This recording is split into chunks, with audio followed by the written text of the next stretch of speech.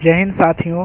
साथियों, आज हम लेकर हाजिर हैं कोर्स टू, जिसका नाम है कॉन्टेम्प्रोरी इंडिया ऑफ़ एजुकेशन के मोस्ट वीवीआई क्वेश्चन के साथ।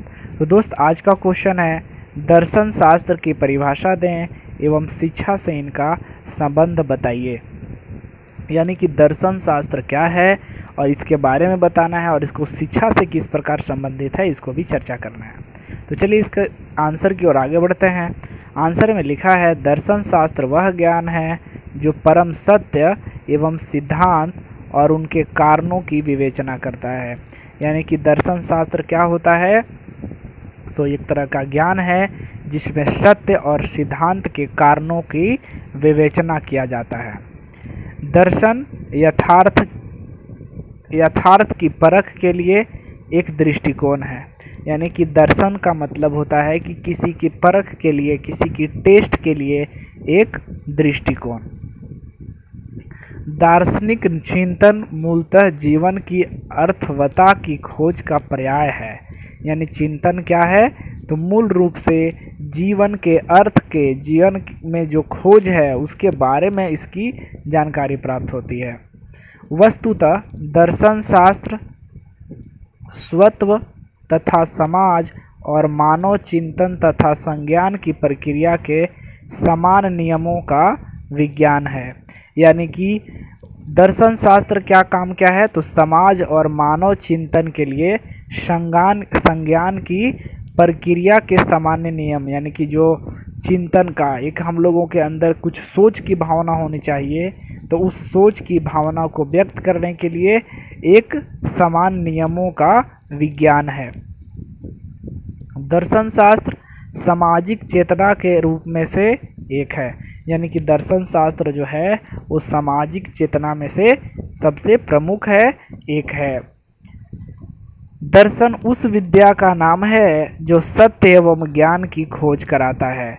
यानी दर्शन वह एक विद्या का नाम है, जिसमें सत्य और ज्ञान की खोज को करता है, सत्य और ज्ञान को देख, देखकर समझा जा सकता है। व्यापक अर्थ में दर्शन तर्कपूर्ण विधिपूर्वक और क्रमबद्ध विचार की कला है। यानी कि अगर व्यापक अर्थ में देखा जाए तो दर्शन क्या है? एक तर्क से जुड़ा हुआ है, एक विधि से जुड़ा हुआ है और एक विचार की कला है।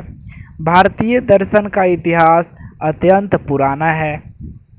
यानी कि जो भारतीय दर्शन है, उनका इतिहास बहुत ही पुराना है। यह पीढ़ी दर पीढ़ी अर्जित दर्शन है।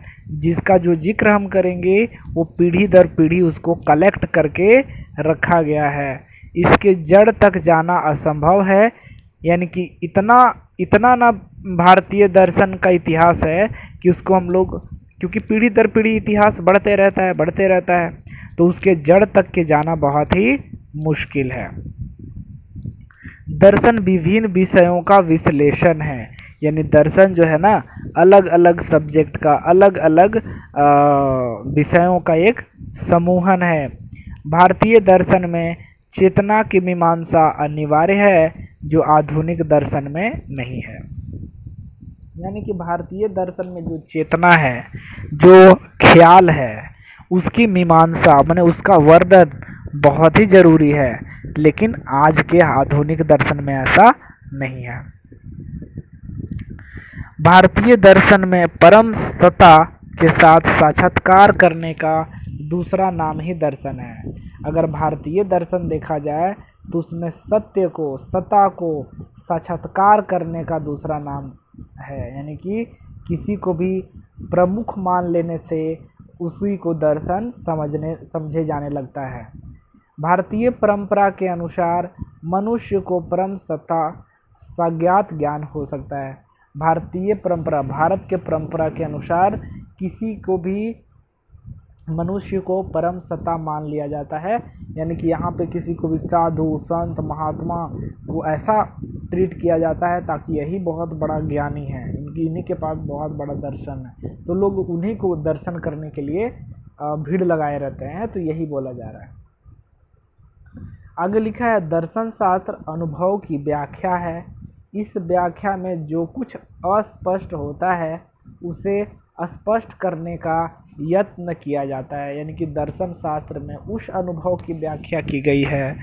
इस व्याख्या में कुछ अस्पष्ट अस्पष्ट का मतलब जो क्लियर नहीं है, उसको क्लियर करने का प्रयास किया गया है।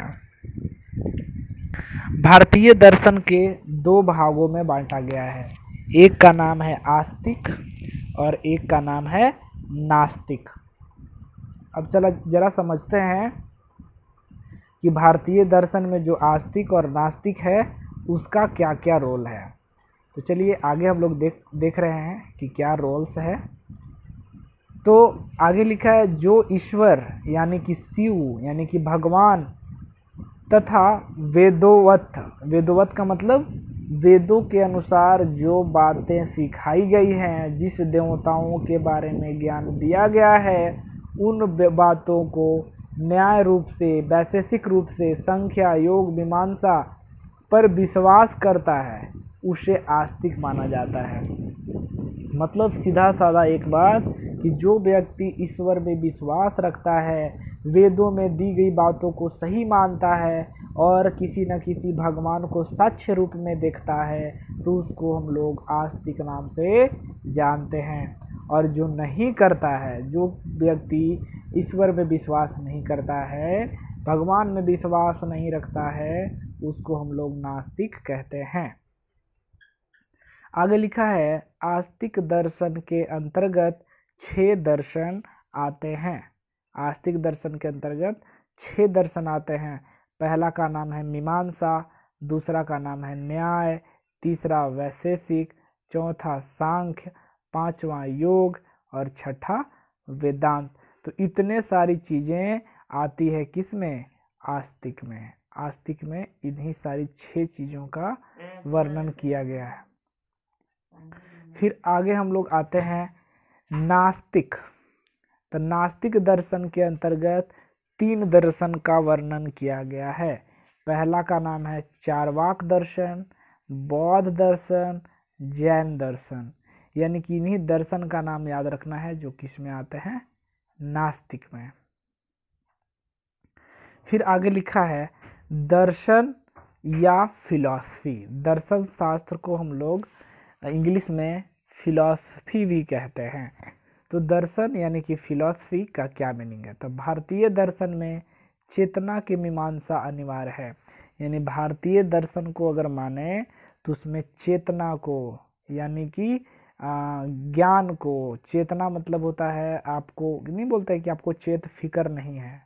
मतलब कि क्या? आपको एक यादाश्त यादाश्त का ज़िक्र किया गया है जो आधुनिक दर्शन में इसका नहीं किया गया।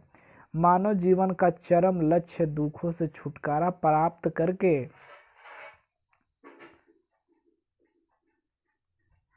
दुखों से छुटकारा प्राप्त करके चीर आनंद की प्राप्ति है। यानी कि आधुनिक दर्शन सॉरी, मानव जीवन का अगर देखा जाए तो उसका लक्ष्य जो है, दुखों से छुटकारा प्राप्त करके आनंदित महसूस करता है। जैसे जो व्यक्ति बहुत दुखी है जब दुख से सुख आता है तो थोड़ा सा आनंदित महसूस करता है। भारतीय दर्शन का लक्ष्य दुखों के मूल कारण अज्ञान से मानव की मुक्ति दिलाकर उसे मोक्ष प्राप्ति करवाना है।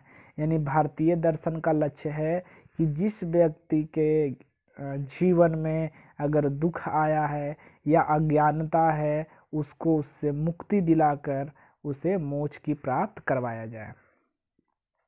आगे लिखा है दृश्यते हानि नेति दृश्यते हानि नेति दर्शनम।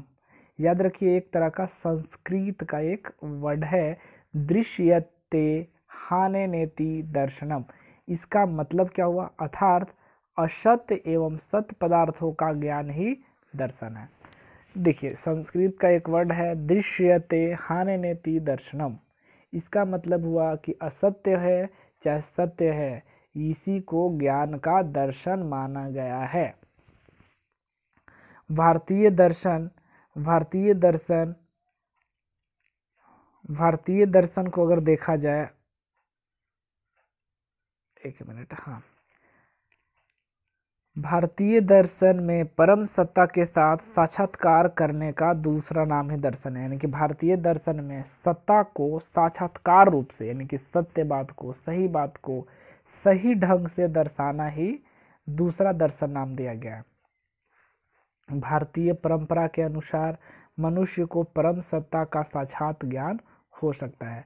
यानी भारतीय परमाणु, परंपरा के अनुसार, भारत में जो परंपरा है, उस परंपरा के अनुसार देखा जाए तो मनुष्य को क्या है? एक परम सत्ता का साक्षात्कार ज्ञान हो सकता है। मतलब एक अच्छी ज्ञान प्राप्त हो सकती है। तो इस तरीके से साथियों ये थे आपके कॉन्टेम्प्रोर इंडिया ऑफ़ एजुकेशन के मोस्ट इम्पोर्टेंट क्वेश्चन तो दोस्त, आज के लिए इतना ही। फिर हम अगले वीडियो में आपके साथ जुड़ते हैं एक नई मोस्ट वीवीआई क्वेश्चन के साथ, जो course number two contemporary India education का होगा। तो साथियों, आज के लिए इतना ही। तब तक के लिए धन्यवाद।